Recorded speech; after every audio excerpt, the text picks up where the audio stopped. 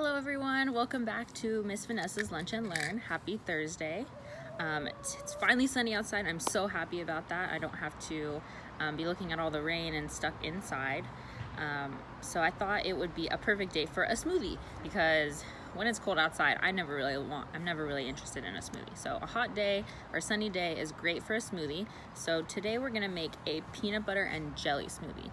And this is one of the favorite kinds that I like to make at home. Um, and I know a lot of you were able to try smoothies this year, um, but since a lot of you weren't able to, I thought it would be fun to have a recipe so you all could try it at home.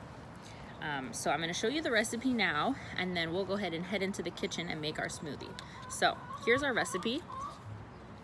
So first, you're gonna need some things. You're gonna need, I like to put some bananas in mine. Um, then you're gonna put want to put some berries and that's gonna really add to the jelly taste. So bananas, berries, and then you're gonna wanna put some peanut butter. That gives you that peanut butter and jelly taste. And if you're allergic to peanuts, you could use something like sun butter. We've used that in gardening class. Um, it's just another type of butter that's made out of sunflower seeds um, in case you're allergic to peanuts. And then lastly, you can choose your kind of milk. So today I'm gonna use coconut milk in my smoothie. So don't forget your liquid because if you put a lot of fruit, it's gonna be really thick and you're gonna need a lot of milk to make it a lot easier to drink. So one more time, we're gonna need some fruits. So bananas and berries, whatever ones you have at home will work, um, but berries really give you that nice jelly taste. Peanut butter and milk. Um, so head to the kitchen, get your ingredients, and you will need a blender. So hopefully if you have one at home, you're gonna stick all your ingredients inside your blender and then blend it right up, and then you should have your smoothie ready to drink.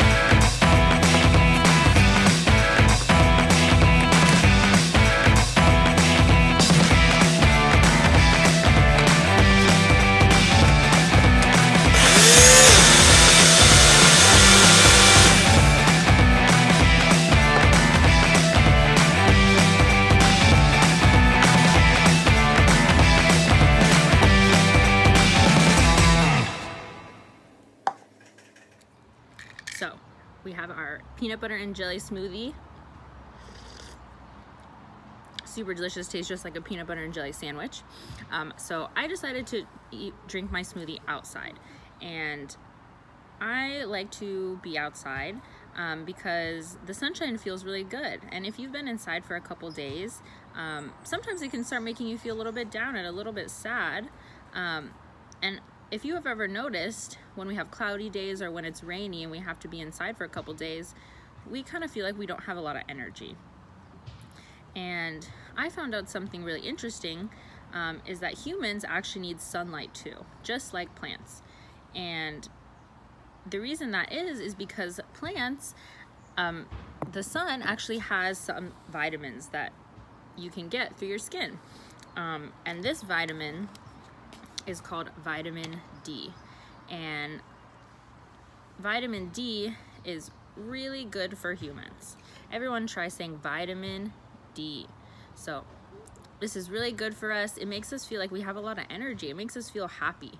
So if you're ever feeling a little bit down and you go outside in the sunshine, you're gonna feel a little bit better because the sunshine actually makes you feel better because of this vitamin.